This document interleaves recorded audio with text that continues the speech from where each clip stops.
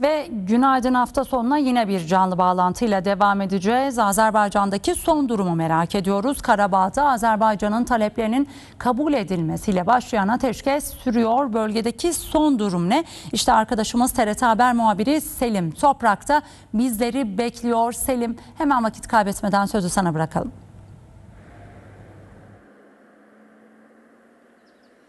Evet bölgede sizin de söylediğiniz gibi artık çatışmalar sona erdi. Azerbaycan tarafı Karabağ'da yaşayan Ermenilerin entegrasyon sürecine odaklanmış durumda.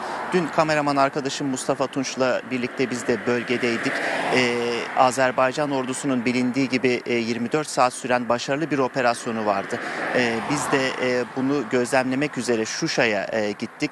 Şuşa'da tam Han kenti sınırında e, bulunuyorduk ve e, gerçekten şunu söyleyebiliriz. Öncelikle şunu gözlemledik. E, 24 saat e, sürmesine rağmen bu operasyon gerçekten e, son derece zorlu bir operasyon olduğunu anladık. Zira zaten e, aylardır e, bölgedeki Ermeni terör unsurlarının e, mayın döşeme çalışması yaptıkları biliniyordu bölgede. Bunun yanı sıra e, siper kazma girişimleri de biliniyordu.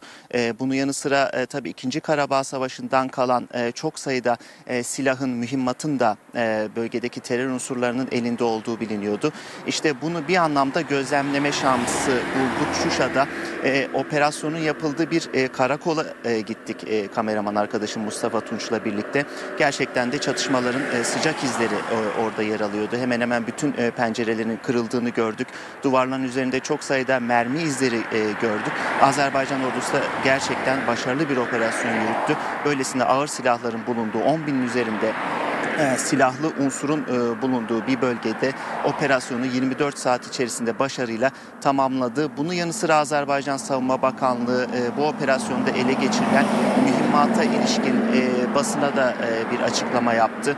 E, bunu da görüntüleme şansı bulduk. E, işin açıkçası e, bu e, ele geçirilen silahlar Azerbaycan tarafını da şaşırtmış durumda. E, zira Azerbaycan Cumhurbaşkanı Yardımcısı Hikmet Hacıyev'in de buna ilişkin bir açıklaması oldu. E, hemen aktarıyorum. Azerbaycan'ın Karabağ bölgesinde henüz 3 günlük e, silahsızlandırma süreci işgal yıllarında Azerbaycan'ın Karabağ bölgesinin askeri depo ve silah mühimmat sayısı bakımından dünyanın en askerileştirilmiş bölgesi olduğunu ve bölgemizin barut fıçısına dönüştüğünü ortaya koydu dedi. E, buna tabii biz de tanıklık ettik. E, açıklanan liste, e, ele geçirilen silah listesi çok uzun. Ben sadece birkaç tanesini aktarmak istiyorum. 4 tank, 12 obüs, 12 havan, 28 uçak savar füze sistemi, 50 adet füze ve 10 binlerce mühimmat e, yer alıyor ele geçirilen silahlar arasında. Hikmet Hacıyev e, Karabağ'ın nüfus e, sayısı ve topraklarının yüz ölçümü oranına göre bölgenin bu kadar militarize edileceğini beklemiyorduk beklemiyorduk dedi. Yani bir anlamda bu kadar silahın bulunması Azerbaycan tarafını bile şaşırtmış durumda. Bunun yanı sıra entegrasyon süreci devam ediyor. Azerbaycan sivillere her türlü yardımı yapmaya devam ediyor. Bunun için dün Azerbaycan Cumhurbaşkanı İlham Aliyev'in bir talimatı vardı. Bir çalışma grubu oluşturuldu. Adam, Fuzuli ve Kelbecer'de bin kişilik kamplar oluşturuldu. Burada talep eden Ermeniler, bölgede yaşayan sivil Ermeniler her türlü yardıma kavuşabiliyor. Bunun haricinde Yevlah'ta 3 gün önce yapılan bir önemli toplantı vardı. Karabağ bölgesindeki Ermenilerin temsilcilerin bazı talepleri olmuştu.